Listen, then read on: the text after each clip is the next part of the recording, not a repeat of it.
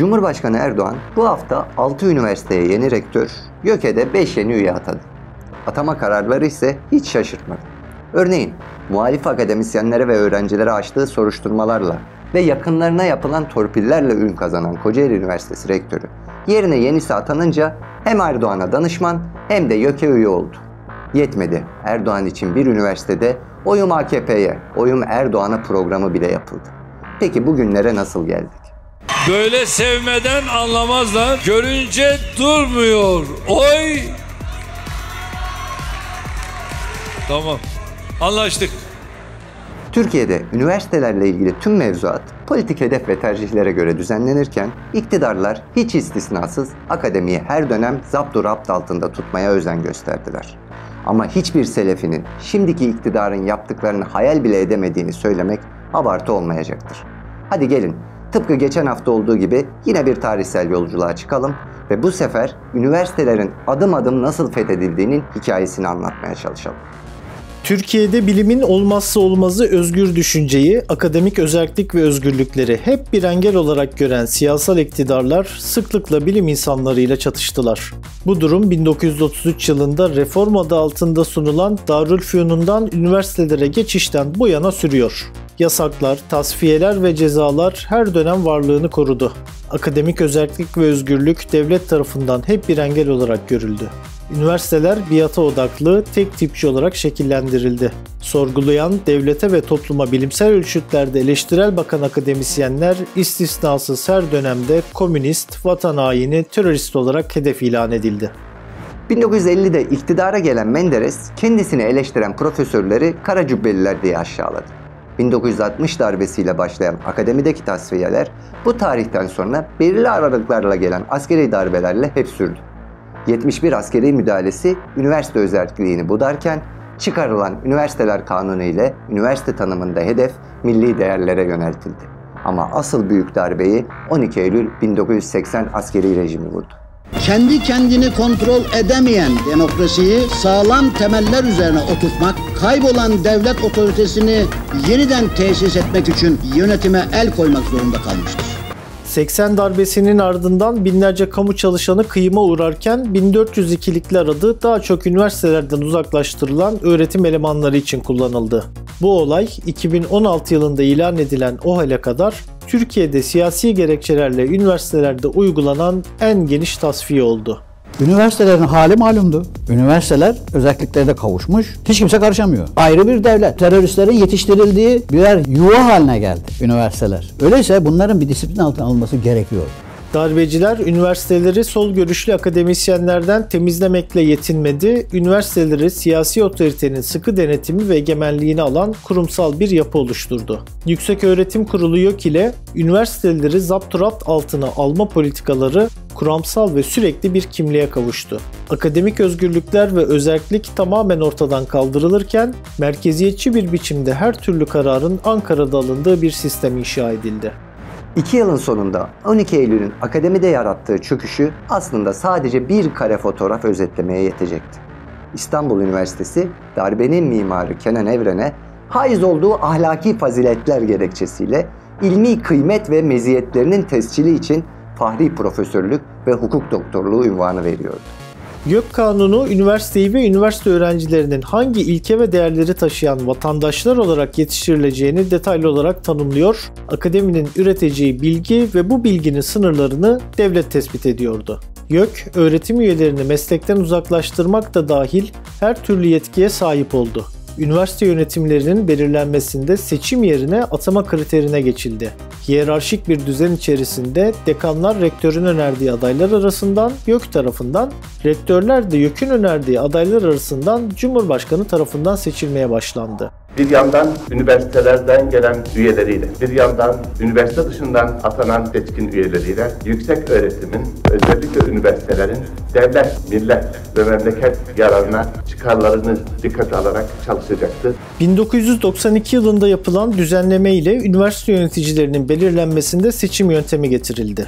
Buna göre üniversitelerin seçimle belirledikleri en çok oy alan 6 rektör adayı YÖK tarafından 3'e indiriliyor, Cumhurbaşkanı da bu 3 isimden birini atıyordu. Ancak YÖK en yüksek oy alan adayı öneri listesinde ilk sıraya taşımadığı gibi Cumhurbaşkanının atama kararında da seçimlerin hiçbir bağlayıcılığı yoktu. YÖK ve Cumhurbaşkanının rektörü, rektörün dekanları, dekanların da ana bilim dalı başkanlarını belirlediği hiyerarşik düzen sürerken seçimler zaten hiçbir anlam ifade etmiyordu. Bürokratik denetim ağları ve baskı mekanizmaları ile üniversiteler kağıt üzerinde bile hiçbir dönem özerk ve özgür olamadı. YÖK başkanı ve rektörler kendi düzenlerine, düşüncelerine uymayan akademisyenlere, bilimsel eğitim ve örgütlenme özgürlüğü isteyen öğrencilere disiplin terörü uyguladı. Bilimsel toplantılar bile YÖK onay vermediğinde engellendi. YÖK 28 Şubat postmodern darbesinde de görevini yerine getirdi. Ordunun baskısıyla muhafazakar kesime karşı başlatılan yoğun saldırılardan üniversitelerde nasibini aldı. Üniversitelerdeki kıyımda bu sefer hedefte mütedeyyin kesimler çoğunluktaydı. Başörtülü gençler üniversitelere sokulmadı. Dönemin YÖK Başkanı Kemal Gürüz kendi misyonunu üniversitelerin temizlenmesi olarak ifade etti. YÖK, ürünü olduğu askeri rejimin son bulmasının ardından her dönem tartışmaların odağında oldu. Kaldırılması bugüne kadar neredeyse tüm siyasi partilerin her seçim döneminde vaatleri arasındaydı. Ancak 1981'den bugüne yasada yapılan onlarca düzenlemeye rağmen devlet üniversite üzerindeki denetiminden hiç vazgeçmedi. AKP de iktidarının ilk yıllarında savunduğunun aksine bu konuda bir istisna olmadı. Sonuçta üniversitelerin devlet eliyle hizaya getirilmesi AKP'li yıllarda darbe dönemlerinde bile görülmedik boyutlara ulaştı. 2002 yılında tek başına iktidara gelen AKP yüksek öğretim sisteminde köklü değişiklikler yapılacağını ilan etmişti. YÖK'te asker üye bulundurulmasına son verildi ancak başörtüsü yasağının kaldırılması hayli zaman aldı.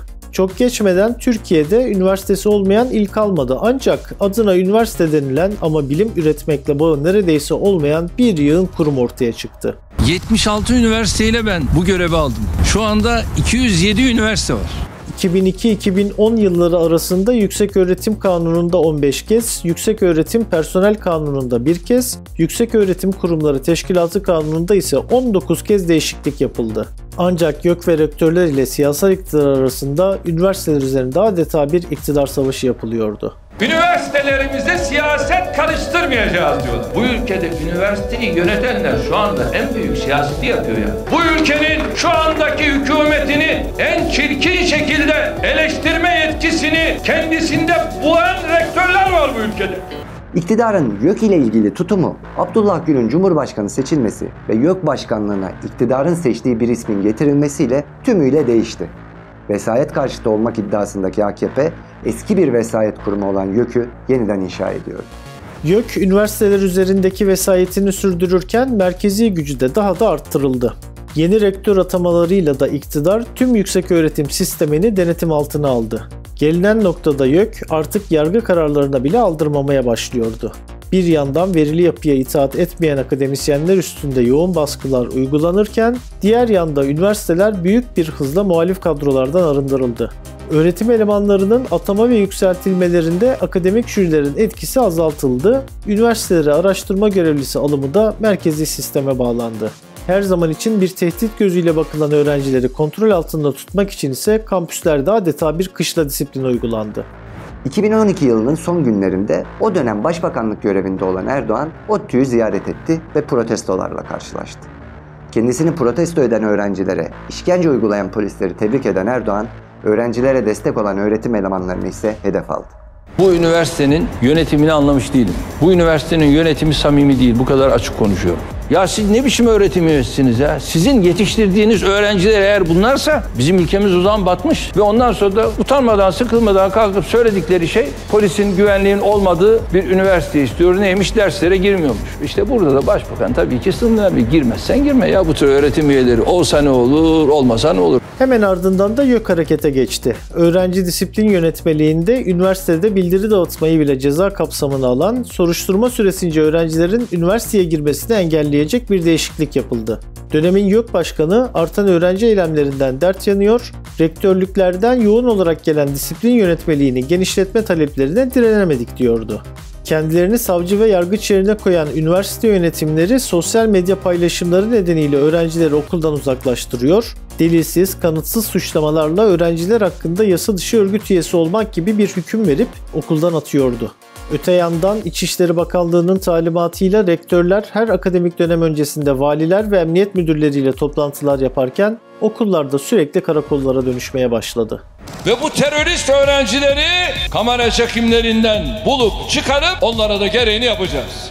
Sonuçta AKP iktidarının 16. yılında tutuklu ve hükümlü öğrenci sayısı 2002 yılındaki cezaevlerinin toplam nüfusunu aştı. Öte yandan Erdoğan ise üniversitelerin öğrencileri kitap yüklü merkepler olarak yetiştirdiğini ve üniversitelerin milletin değerlerine karşı olduğunu ilan etti. Bu arada üniversitelerin fethi hız kesmeden kesintisiz bir şekilde sürmeye de devam ediyor. Örneğin ODTÜ Erdoğan tarafından sıklıkla hedef alınıyor. Her seferinde YÖK Erdoğan tarafından verilen talimatla harekete geçiyordu. Ya da YÖK Boğaziçi Üniversitesi'nde var olan kadroların kullanılmasına izin vermiyor, atamaları engelliyor ve kadroların boş kalmasına neden oluyordu. 2016 yılında rektör seçimlerinde oyların %89'unu alan Gülay Barbarosoğlu aylarca Erdoğan tarafından atanmadı. Nihayetinde rektör seçimleri kaldırıldı. Erdoğan da Boğaziçi'nin rektörlüğüne Barbarosoğlu yerine seçime bile katılmayan bir ismi atadı. Ama bu Boğaziçi ile kavganın daha ilk randuydu. Dahası gelecekti. Bu üniversitemiz bu ülke ve bu milletin değerlerine yaslanamadığı için küresel bir marka haline gelme çabalarında da hedeflerine tam manasıyla ulaşamamıştır. Batı ülkelerindeki üniversiteler çok sesli değil mi? Peki bunlardan hangisinin sürekli kendi devletine, kendi halkının değerlerine karşı faaliyet yürüttüğünü duydunuz, gördünüz? Erdoğan çok istediği Cumhurbaşkanlığı koltuğuna oturması ile akademik yıl açılış törenini de sarayına taşıdı. 2016'daki ilk törende yaptığı konuşmada rektörlük seçimlerinin kaldırılmasını istedi. Kısa bir süre sonra da bunu yaptı. 2016 yılında ilan edilen o halle birlikte Türkiye'de üniversiteler darbe yönetimlerini bile geride bırakarak tarihin en karanlık dönemine girerken binlerce akademisyen keyfi işlemlerle tasfiye edildi. Bir OHEL KYK'sıyla da rektörlük seçimleri kaldırıldı.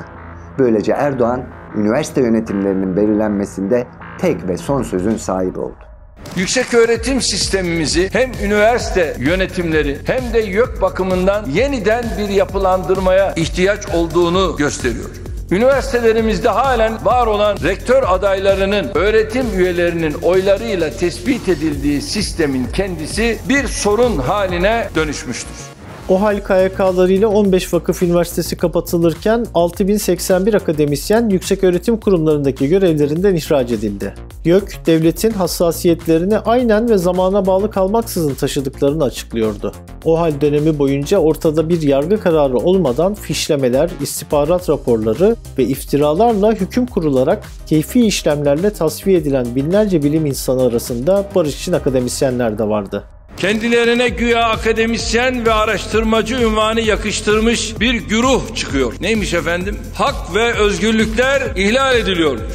Kendilerine akademisyen diyen güruh bildiri yayınlayıp devleti suçluyor. Sözde aydınların ihanetiyle karşı karşıyayız.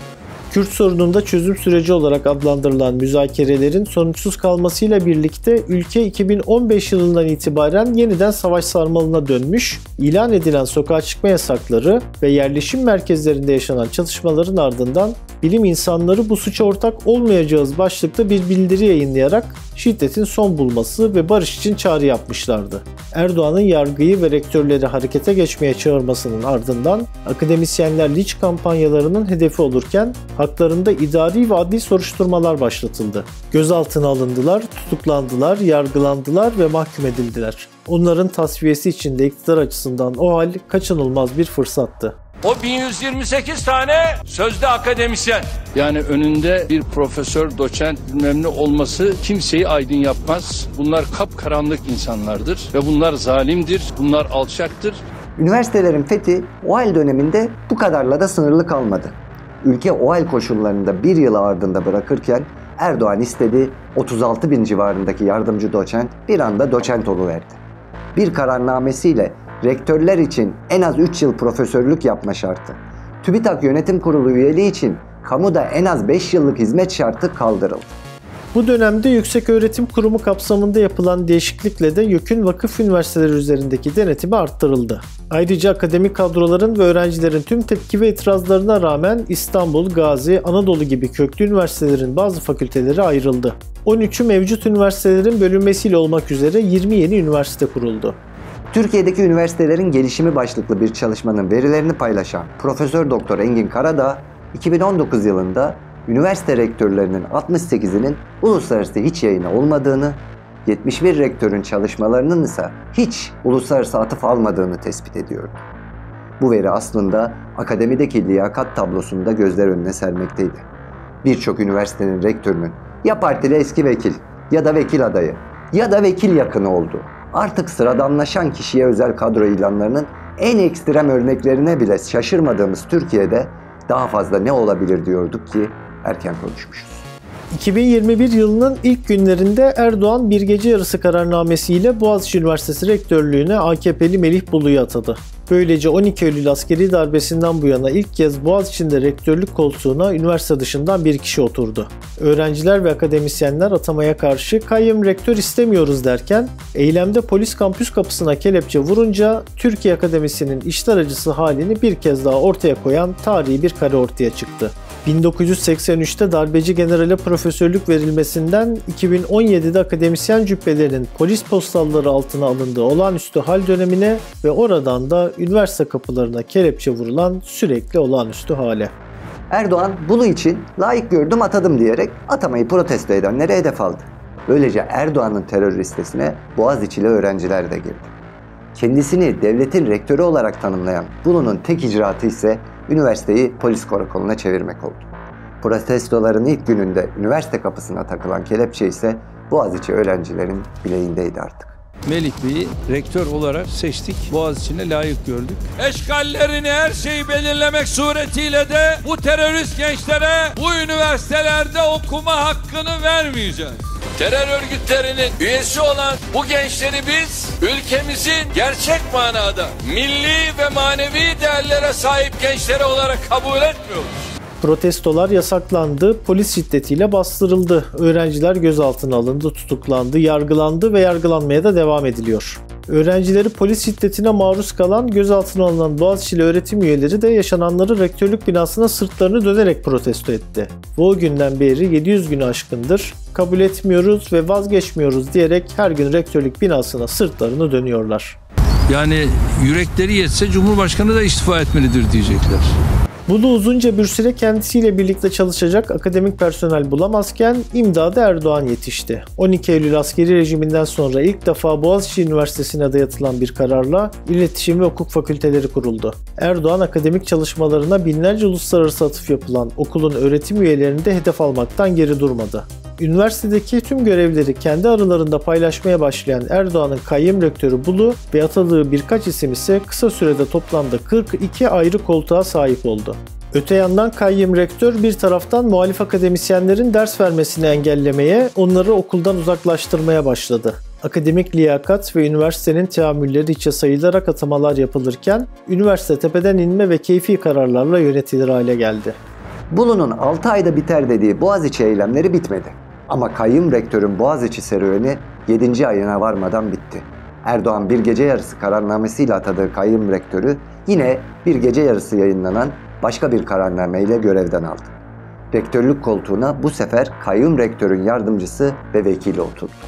Bulu'dan sonra vekaleten yürüttüğü göreve kısa bir süre sonra Erdoğan tarafından asaleten de atanan Naci İnci'nin selefinden farkı yoktu. İlk icraatı kayyum rektör istemeyen akademisyenleri görevden almak, kendisini protesto eden öğrencilere dava açtırmak, üniversiteyi hukuksuz ve keyfi kararlarla yönetmeye devam etmek oldu. Kayyum rektörün yardımına bu sefer de yok yetişti. Üniversitenin seçilmiş 3 dekanı görevden alındı. Göreve gelmeden önce üniversite bünyesinde yapılan güven oylamasında Boğaziçi'li öğretim üyelerinden %95 oranında red oyu alarak rektör olması istenmeyen iki akademisyenden biri olan atanmış rektör, tepeden indirilerek getirilen atanmış dekanlarla üniversitenin tabutuna son çivileri de çaktı. Kendini görevden alınan dekanın yerine de atarken Boğaziçi Üniversitesi'nde rektörlük ve dekanlardan oluşan kurulu artık sadece atanmış 4 kişi yönetiyordu. Akademi dışı bir tutumla ortamı politikleştirme gayreti devam etmektedir. Huzursuzluk çıkaran azınlığın asıl niyeti burada eğitim almayı hedefleyen milletin çocuklarının önünü kesmektir. Buna rağmen bizler doğru bildiğimiz yolda ilerlemeye kararlıyız. Sayın Cumhurbaşkanı, zatı devletlerinizin desteğiyle Boğaziçi Üniversitesi geleceğe doğru önemli bir hamle yapma fırsatı yakalamıştır. Boğaziçi Üniversitesi'nin zincirlerini kırarak yaşadığı kabuk değişimine engel olmak isteyen dahili ve harici mahfiller var. Bunu biliyoruz. Yurt dışı şer odaklarıyla bağlantılı çevreler bilsinler ki asla bunu başaramayacaklardır.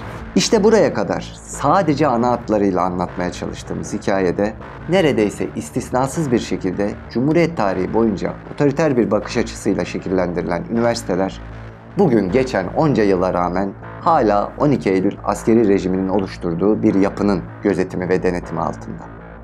Siyasetin politik hedef ve tercihlerine göre düzenlenerek her dönemde yeniden üretilen bu yapıda YÖK siyasal iktidarın, üniversitelerde YÖK'ün taşeronu. Ancak başlarken dediğimiz gibi üniversitelerdeki göstermelik rektörlük seçimlerinin bile kaldırılarak her şeyde olduğu gibi tüm yetkilerin sahipliğine erişen Erdoğan anlattığımız hikayede kendinden öncekilerin hayal bile edemediklerini ele geçirmiş durumda.